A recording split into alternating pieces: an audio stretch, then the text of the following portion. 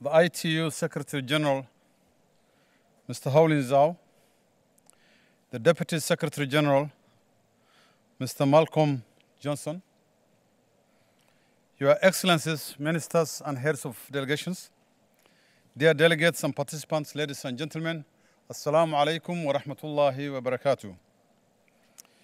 It is a great pleasure for me, on behalf of the Universal Postal Union, to address the 2018 ITU Plenipotentiary Conference. Thank you, Secretary General, for your kind invitation. And I would like to take this opportunity to thank United Arab Emirates for hosting this important Congress. The International Telecommunications Union is the oldest international organization having been established in 1865. The Universal Postal Union followed barely 10 years later and was established in 1874. It is no coincidence that the world leaders prioritize these two organizations as the pioneers of international cooperation. They just followed the patterns of human needs. First, for the people to know one another, they must communicate. Then, after that, there is need to exchange goods, presents, and other physical items. That is what ITU and UPU facilitate, and that's what they represent. Henceforth, the post and telecommunications have always and continue to play complementary roles in providing service to the citizens of the world. All over the world, the establishment of telecommunication services has been done together with that of the post. The ministers I see at this conference are the same ones that attend UPU events. It means most governments continue to see the correlation or correlations between the posts and the telecommunication services. With the rapid advancement of telecommunications and digital space over the years, the post at some point worried that its relevance was dying and being replaced by the faster and versatile internet communications. Indeed, the business of the letter post's main service, the letter declined, and it has continued to do so even to this day. Social communication has almost wholly moved to the electronic platform. Moreover, the advancement in telecommunication has given birth to electronic transactions. Online trading is now the fastest growing components of local and international business in all parts of the world. This phenomena has not only brought back the links between the post and telecommunication, but has actually strengthened it. More than any time before, the two services are inseparable. The two biggest concerns of customers shopping on internet are firstly, whether their online payment is secure, and secondly, whether they will receive their correct purchases and in good time.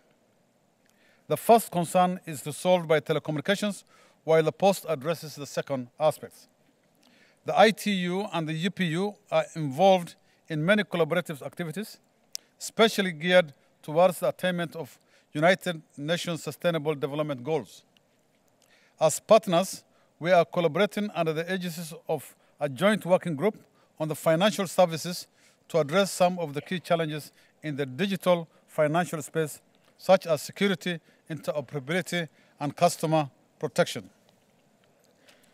Your Excellencies, UPU is also involved with ITU and other partners in Financial Inclusion Global Initiative. This is a working group that delivers research, technical tools, and policy recommendations to advance financial inclusion, leveraging digital technologies. To support the e-commerce ecosystem in which Post is a key player, UPU is running major projects on operational readiness for e-commerce among its member states. This is aimed at ensuring the entire postal global network has capacity to play in the e-commerce sphere.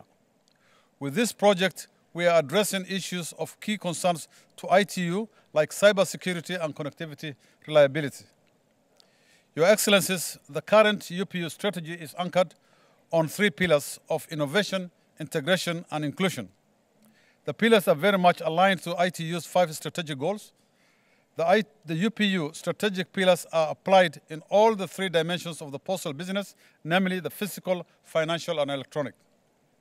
The relationship between the post and the telecommunications, and by extension UPU and ITU, will continue as long as communication continues being the central component of human interaction. This is because to complete human demand cycle, the virtual must facilitate access to the physical. To conclude my remarks, I wish to call upon governments to invest in the digital transformation of the postal sector in order to increase social and economic inclusion to all citizens. For even the most robust telecommunication network will not deliver value to citizens if other crucial physical infrastructures is not in place. The postal infrastructure is key to achieving a sustainable digital economy for all. The Post has the largest physical network and its more than 640,000 global outlets, outlets serve all corners of the world, including the remote and difficult to access locations. It is the second largest financial service provider after commercial banks. All these are important components to facilitate public service in all countries of the world. With digitalization, our postal outlets, we will move faster to attain most of the SDGs, including uh, inclusions, involving inclusions. Finally, I wish to point out here that the UPU and ITU normally benchmark with each other in many areas, including governance and administrative matters. Recently, the UPU carried out a major reform that was supported by all member countries. I would like to thank the ministers present here for your support for the changes in the Universal Postal Union. With reforms, we are now experiencing greater efficiency in our work and have achieved equitable representation of all our regions in the Union. We involved ITU in this reform process, and I'm sure they also have benefited from our experience.